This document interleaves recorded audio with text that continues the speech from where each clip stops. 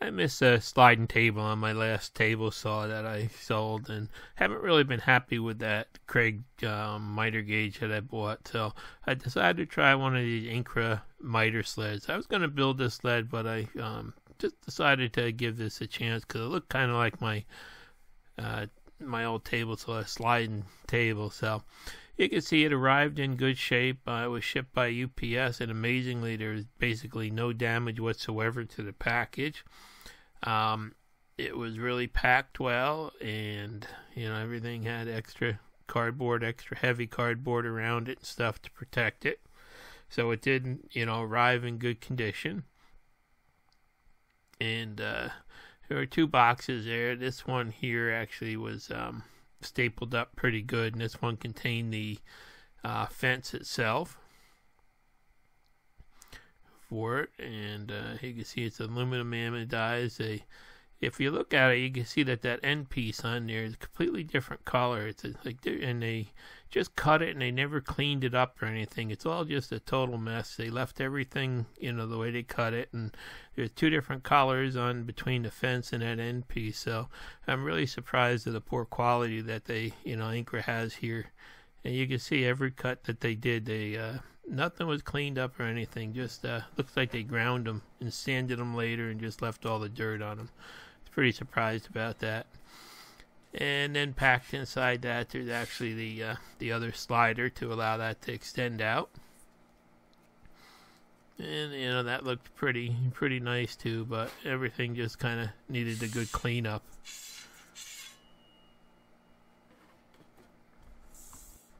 Now the only reason I really purchased this was because Rockler last weekend had a 20% off coupon so I decided to give it a try um, I wouldn't really pay the normal price for it. And you can see it's got all these split scales that kind of slide for adjustment and stuff. But one of them there had a pretty good kink in it before they put it in place. So, you know, that's another quality issue that I didn't expect from Incra. But I guess uh, everything's going downhill these days.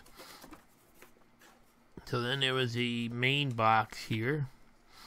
And that was all packed in there pretty good. The um, that flip stop was well there was a clamp there and then that flip stop was kind of just taped to the edge of the thing there and it chipped the edge of the table all up you can see and um, actually it, uh, the anodizing on that was pretty crappy job too. It was all spotty and different colors and you can see where you know the way it was just sitting in there it got damaged too um, marks on it and stuff.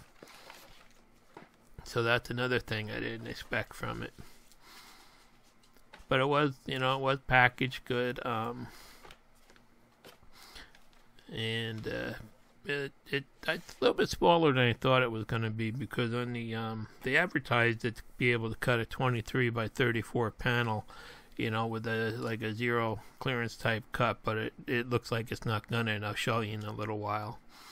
So to start assembly you first have to take these uh, two pieces apart that are screwed together on it a couple Phillips head screws. They just kind of kept things from banging around in there, and that was a, a real good thing to you know keep everything tight like that. And this is the um, this is the end board that goes on there, and then there's the uh, the miter gauge there mounted to the other board, and there's also the uh, the secondary aluminum track that's screwed on there. You just have to remove the one screw to uh, get that loose. And then there's the uh, miter bar.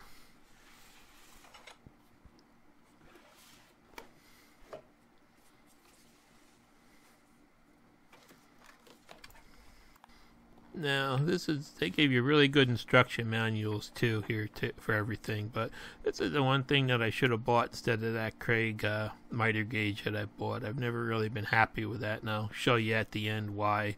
I was just trying to cut some panels for my router table and had a problem. Now they tell you you should um, it's set up for mounting on the left-hand side, and that's a recommended mounting for a uh, right-hand tilt saw, but my saw actually tilts to the left hand and I'm still going to mount it on the left hand side because if you look at it you can see the blade always references back on the arbor there so um, when I use a dado head or anything. I don't want to mess up the insert, so that's why I'm sticking with this for now. So the first thing you have to do is uh, put that miter slide there together and the little piece that goes on there to catch in the T slot. And then you go back and you um, adjust it. Now there's instructions for different ways to adjust it for different uh, saw slot sizes. And mine just needed the uh, the weight side there, the, the left hand side to be adjusted. And um, I have to tell you, those screws are really they're they're kind of like a really super tight, probably an interference thread or something like that to keep them from backing off. So you really do have to crank on them, but um, it's just just my this uh, bar just uh, so smooth in there once you get it adjusted right. I mean, you can see you really you really do have to crank on them and uh, you know stress them and then back off a little bit and stuff. But um, the bar is extremely rigid and it just um, it it just uh, you can get it just so it slides so smooth. It's not like the Kreg one where those little screws stick out and you fiddle around with them and um, you hit each screw and you get a different you know amount of force on it. It seems like, and they do shear off very easily. These are um, I really like this adjustment and this uh, steel bar here. So you know I did you could see I did have to really wank on those things, but it took a while. But it's really um, it's just a perfect fit now. But the one thing this th- this does is this sled actually um, you lose a half inch cutting depth on the blade because of the thickness of the sled, but that doesn't really matter to me because I'm not going to use it for anything that's really that thick anyway. So I just went back and forth and, you know, tweaked a little bit here and there until I, you know, I felt like I had a real nice smooth movement on it and um, down to zero play and uh, then it's time to, to go on to the next part of it and there's a quarter 20 bolt that you just have to remove. I'm I'm pretty amazed because this is all actually inch hardware. It's the first tool that I've assembled in years. It seems like that uh, I didn't need my metric tools for. So first thing you do is you have to um, get the uh, screw holes in that slider bar lined up with the uh, countersunk holes in the tabletop there and they're really just like a perfect fit. And once once you get them in there and tighten them up, everything is just uh, lined right up. You, there's no movement in it or anything. They did a really good job at um, you know sizing the holes and the location of the the threads and everything. So it's a perfect fit. So that just to get that one in, you have to kind of move that uh, all the miter gauge parts around and out of the way, but that doesn't take long. Um, and it's just the adjustment on this miter gauge is just so unique the way it works, the way it um, works on indexes on half degree intervals, and actually you have V's locked into um, you know V grooves here, so there's no play or anything at all, and um, everything is actually fully adjustable should it ever go off. So um, it looks like it's you know, like going to be a uh, really great system as long as all the V's are put in there in the right place and you can see there that that thing just slides so smooth and so tight. It, it's basically like a sliding table. I'm real happy with the fit. Then you have the uh, this wasteboard here that you just um, have to screw onto that rail there. So once you get that in place, everything tightened down. Uh, it tells you just uh, cut cut it there, and that's going to be your um, basically uh, your zero clearance cut line for all your cuts to keep from chipping out later. so that cut is pretty critical, and you know that's why I wanted to keep it on that side of the blade because the blade is always indexed against the arbor, you know, and if you put a dado or anything, it would go out the other way. Then, uh, then came this aluminum adjustable track. You had to adjust that, they said, and I put that in there and I tried cranking on that as hard as I possibly could. I just could not. Nothing would move. Um, still lots of play in it, stuff like that.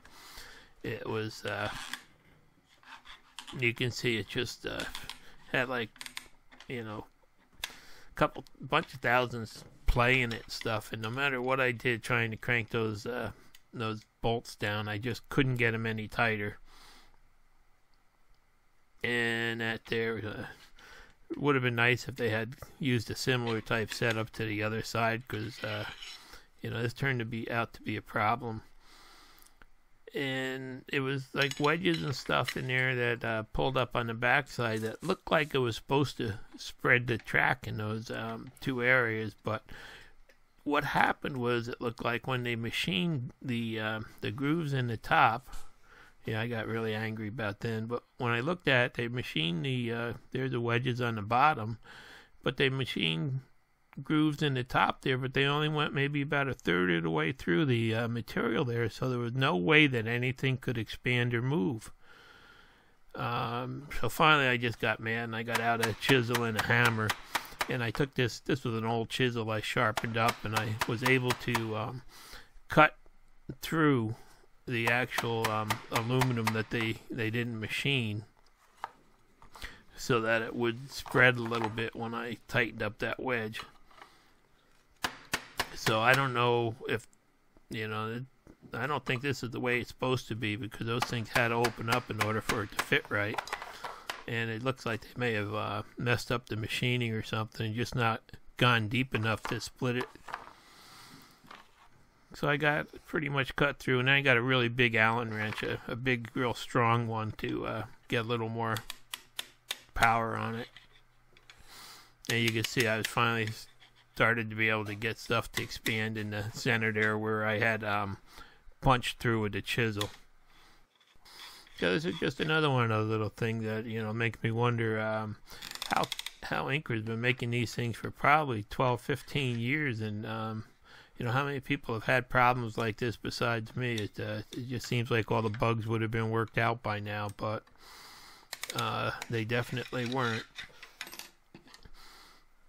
and uh, that one there I didn't quite I only got one side popped through and it wouldn't move enough. So I wound up having to uh, split it a little bit more on the other side there. Cut through a little bit more of the aluminum. So yeah so you can see I'm uh, I'm not, I'm not real super happy with the way this thing went together but I did get it, and uh, you know, finally I got it adjusted, and it's kind of it's kind of finicky. I mean, you can get them. It's real hard to get them perfect. You can uh, play with them and get them there. They're a little bit rough, but uh, you know, I did get it so it'll work for that side. Then you have to screw this other board on the piece that you cut off the other side, and you have to um, actually pick a set of holes so that you're going to be trimming it again. So you have to get that miter sled out of the way and then move this over. So those screws actually they lined up perfect and um, you know went together right stuff. But the the next thing that I found out was you um, you screw this together, then you have to go back and cut it to um, to get your zero clearance on the other side and the, with the location of those two bump outs, how they had only um, you know tightened in the track in those two areas. The first uh, couple inches of the uh, cut there are, are not accurate, and then the last couple inches where the second one goes off, the whole thing transfers, so it's not accurate. So it would have been nice if there was um, a little more support, like a third one of those in there, and have them spread out a little bit further. But you know, I guess this is what you live with. So I got that that trim there, and now it's time to just kind of set everything together and see how it looks. And you can see those tracks are kind of pain in the ass because they started uh, spreading at the bottom too. But, you know, luckily you don't have to move that side, so I guess it'll be okay and the other side just moves perfect. It just slides, you know. It's really a great track setup. Then it's time to, to put these uh, this fence together. And there's a couple T nuts that go in and um, a couple socket head cap bolts. Everything is like a quarter 20 socket head cap, and you can see how that just uh, slides in there. And they do give you a big uh, ball driver to fit these. Um, for some reason, it's really snug in the, the things and hard to to um, to twist off center and get out of the screws at times. So, you know, that was a kind of a sticky thing. And then uh, I'm going to have to go back through and adjust all these tracks, but it's kind of hard to see there. But there's a kink in that one. Before they put it in, it looks like they uh, somebody put a, a good kink in it and then slid it in anyway. So that's another thing I'm not happy with. And those pieces there didn't actually uh, line up right either when you tighten down the screws. It's funny.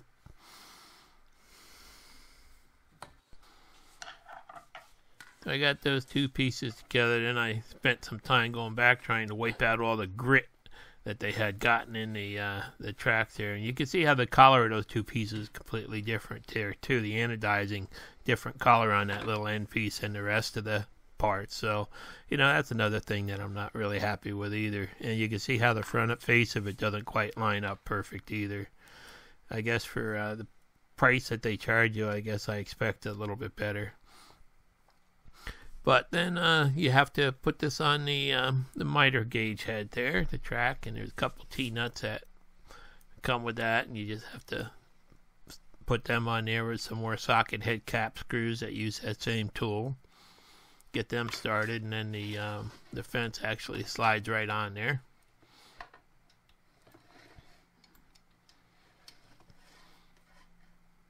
And just make sure you leave it back a little bit from the blade when you put them on there, and um, just kind of two screws there, tighten it down. And it's it's really nice how this uh, you know all this uh, it's such a positive stop at each angle that you adjust it to and stuff. Uh, I don't need that miter set gauge anymore and stuff like that. So you know, in the end, that that Kreg jig with the miter set cost almost as much as this did. So um, this is really a big upgrade. And then there's a little bracket that goes out there to support the end of the fence and lock it down and really keep things from moving. And uh, that's a really great feature that gives it a lot of extra support on there too. Yeah, that bracket's a lot like the one that was on my uh, Delta sliding table. And they do have good instructions to, uh, you know, be able to go through and make all the adjustments. And they tell you which screws to tighten first and, you know, how to how to line everything up. So I got the fence on there, and then they said to check it for square against the uh, cut edge there. And actually, from the factory, that was really, uh, you know, just perfect right on. So I didn't have to loosen these screws for adjusting it. I just made sure they were tight. So that, you know, was set good the way it came. And then you can see here how this little thing will rock to one degree or half degree intervals and lock right in there. So I got that set on zero and then that there actually locks in at the uh, the different intervals up above. So everything is uh, really locked in there positive at the uh, zero number right now. Now you get this little flip stop with there, and there you can see the anodizing on it. It's really a pretty bad job. It's all spotty and uh, scratched up and stuff like that. So, you know, that, that could have been better too. It could have been wrapped in something, or you know, even it looks like it was all spotty before they wrapped it. It looked like it was a process.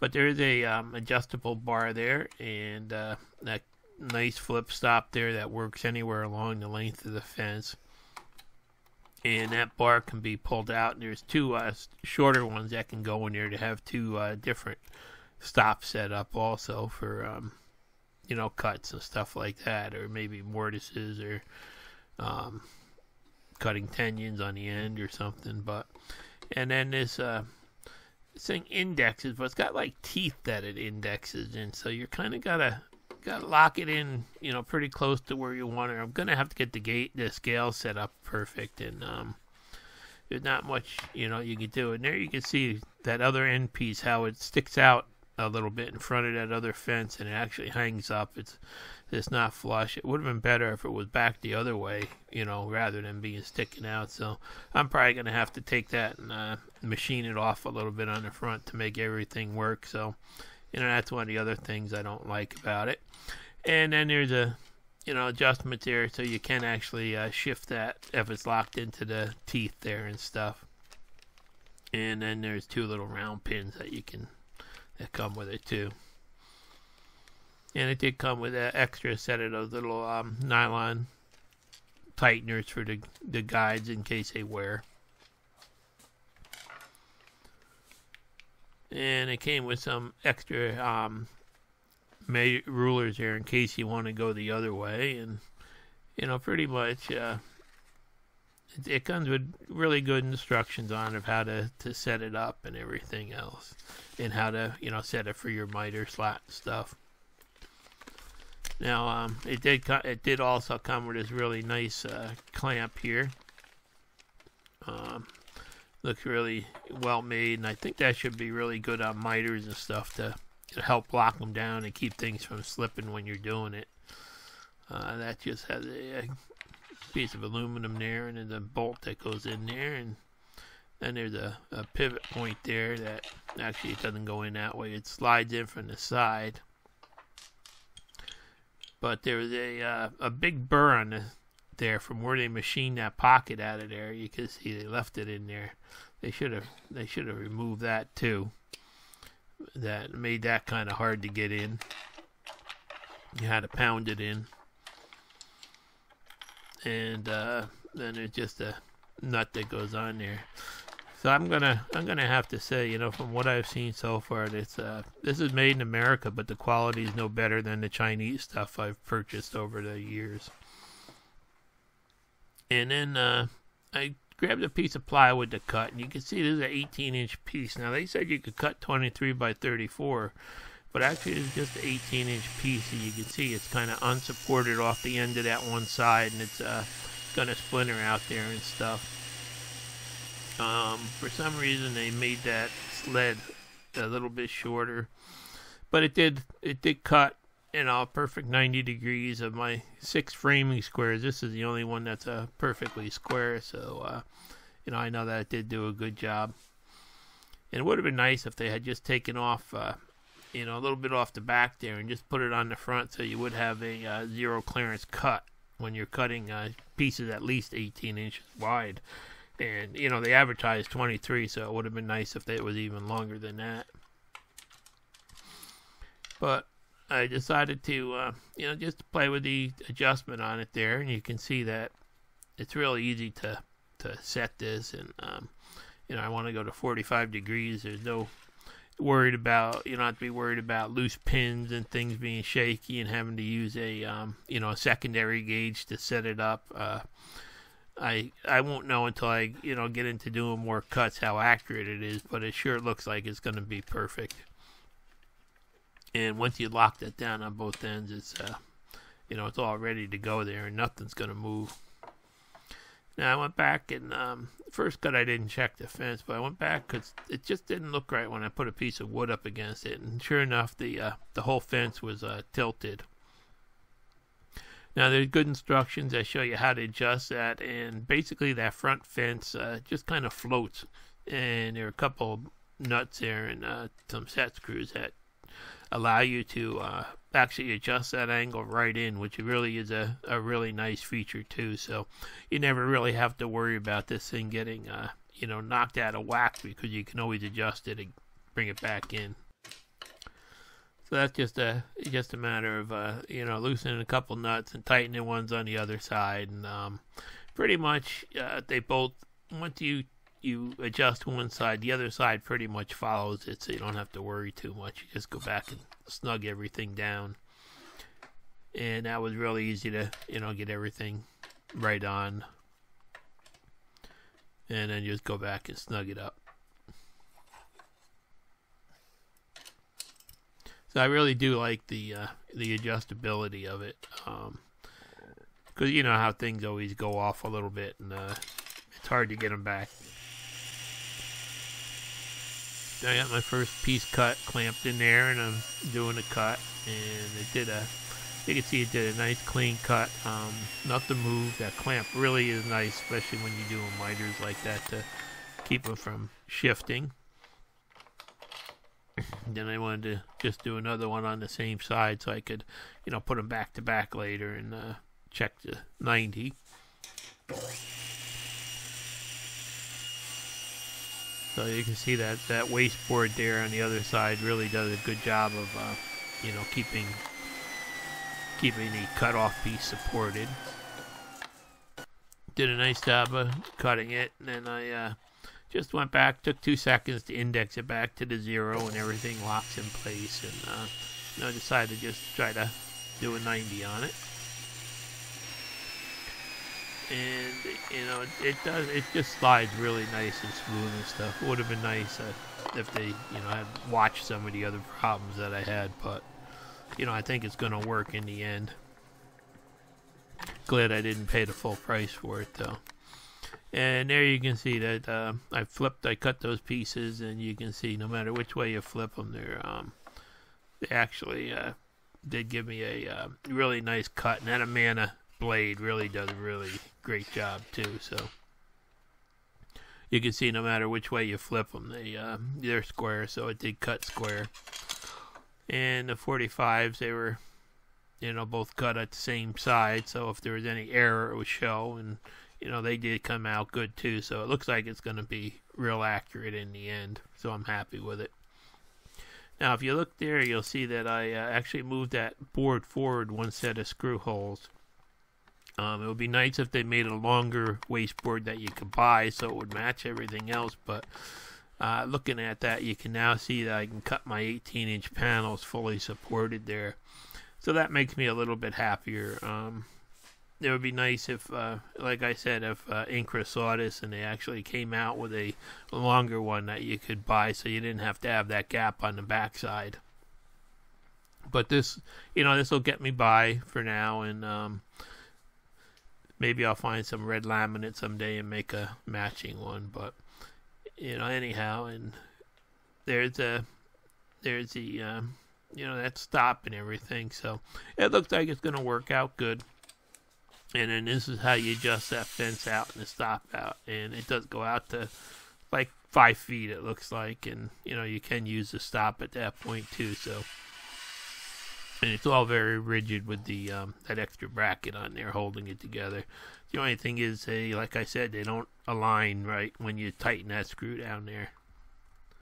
So I think it'll be a good addition to the shop. Now this is why I wound up uh, buying it because I was trying to cut some of those panels for my new router table that I'm building, and I was uh, with bigger panels of three quarter inch plywood. When you get back a little bit, that aluminum bar is kind of like a rubber band and I noticed that my panels just weren't cutting straight and they were getting like radiuses on them and stuff. And then I realized the minute you um, get any kind of a uh, a heavy panel on there and try to cut it, that that gauge, the uh, the aluminum actually just flexes like rubber. There, you can see it until it's fully engaged in the miter saw. So that thing's really only good for like uh, you know doing short cuts that are maybe like six eight inches at the most wide once you uh, start to back it out a little bit, it's um, you know basically uh, it's no good. And you can see it's a it's aluminum bar and it does have some big holes through it too, so they could be where it's flexing too. But um, you know I've never really been super happy with this gauge as you've probably seen, and uh,